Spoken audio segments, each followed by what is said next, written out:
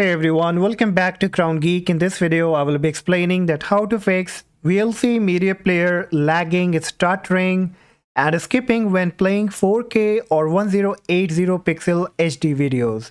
So if you have any similar issues, then I will be sharing three effective solutions that you need to apply. And after that, I'm pretty sure that all kind of problem will be fixed.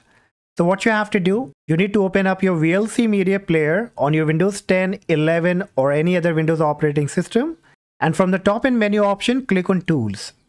Then click on Preferences. And here at the left hand corner, you will see Show Setting option. You have to switch it to All. And then here you will be getting Input Codec from the left hand menu option. Double click on it. And on the right hand side, you will see Preferred Video Resolution. So what you can do if it's been set to any other option, you can try choosing to Full HD 1080 pixel or also best available. Once done, again double click on input codecs, scroll down a bit and under advanced you will be getting the option of file caching. So on the right hand side you will see some kind of value like I see 1000.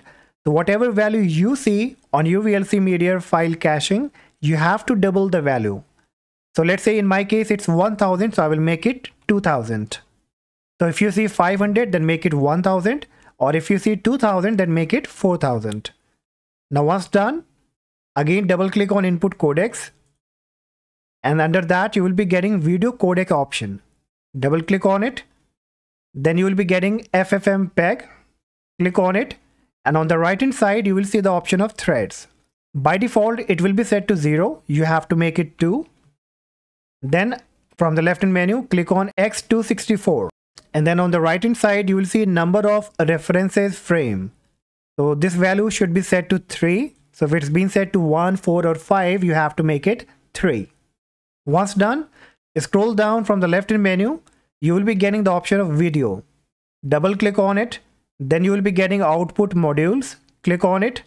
And here make sure video output module has been set to automatic. If it's been selected to any other option, then choose to automatic. Once done, click on save. Again, click on tools choose preferences. Now here from the top in menu, click on input codecs. And at the top, you will get hardware accelerated decoding. So now it's optional and you have to make some changes here. Like if it's already been set to automatic, then you have to choose to disable. All right. And if it's already been disabled, then you have to choose it to automatic. All right. Now click on save. And after that, restart your VLC media player and open again and see that if this makes the changes and fix the problem. And still if you have the issue, then kindly restart your, your PC and all kind of your problem will be fixed related to lagging and stuttering. So that's all guys. Hopefully this video will help you. And if yes, then please consider subscribing to the channel, like the video. And for any question, let me know in the comment section. Till then, take care. Bye-bye.